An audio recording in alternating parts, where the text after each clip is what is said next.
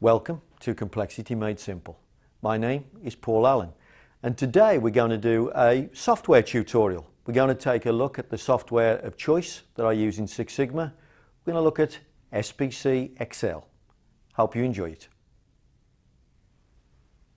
Excel and the little tutorial we're going to do today we're going to look at some uh, analysis diagrams namely the histogram and the CPK diagram although I'm going to link those with the run chart as well.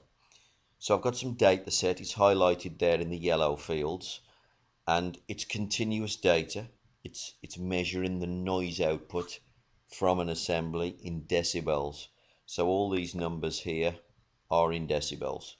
And I'm just going to show you very easily how SPC XL works and also some simple ways of uh, turning this data into pictures. So the first thing I'm going to do, I'm just going to highlight the data set. And I'm going to go run chart, histogram, CPK. Always do those three together when you've got variable data, when you are measuring something. So the first one I'm going to do is the run chart.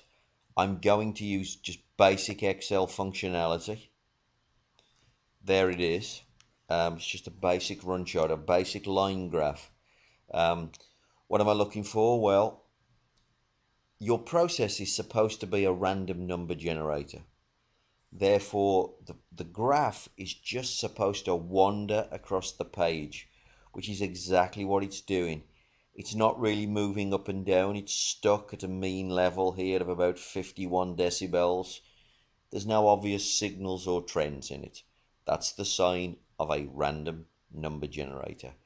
That is what the run chart shows you. It's exactly what you want to see, really. Now I'm going to go to SigmaZone. And I'm going to generate a histogram. Click on histogram.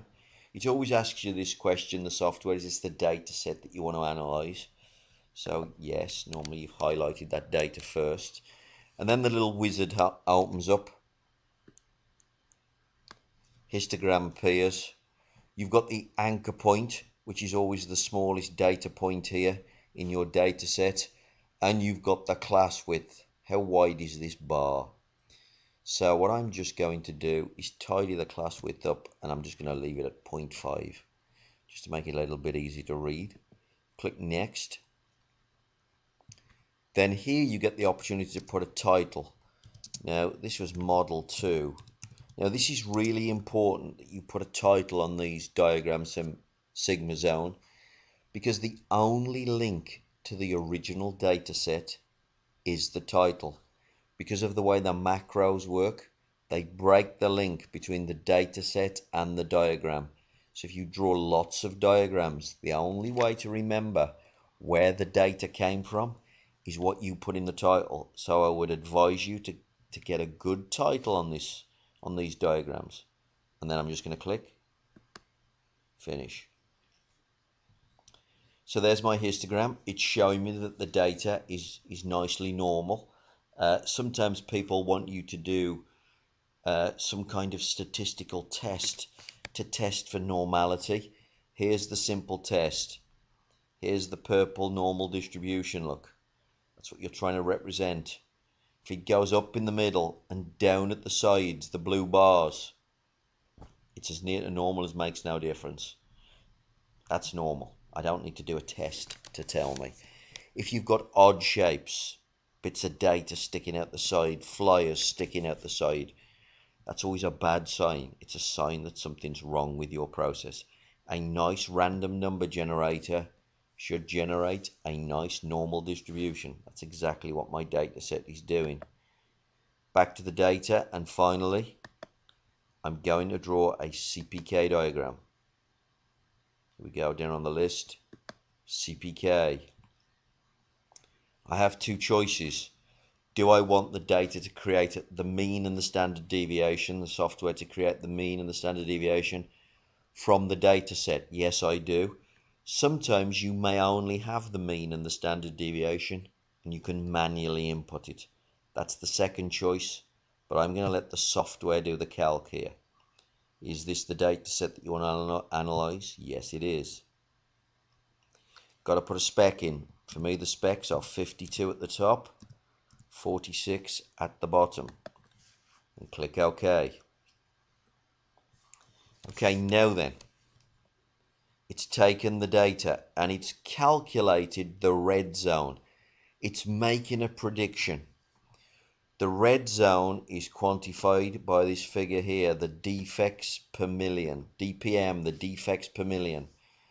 The red zone, it says 119,000 defects in a million. In other words, 11.9%. That is a predicted figure. It is not an observed defect rate. It's very important. So one of the reasons why we do the histogram and the CP and that CPK analysis together, it's going to use that purple distribution to estimate the defect rate.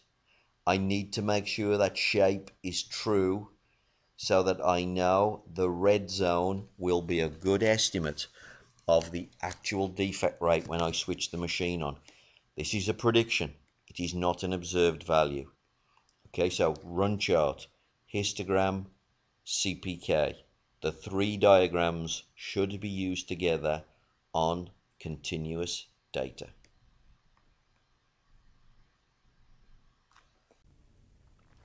Well, I hope you found that uh, useful. Uh, if you've got any questions about that topic, or indeed anything to do with Six Sigma, or Lean for that matter, give me a call and I hope to hear from you soon.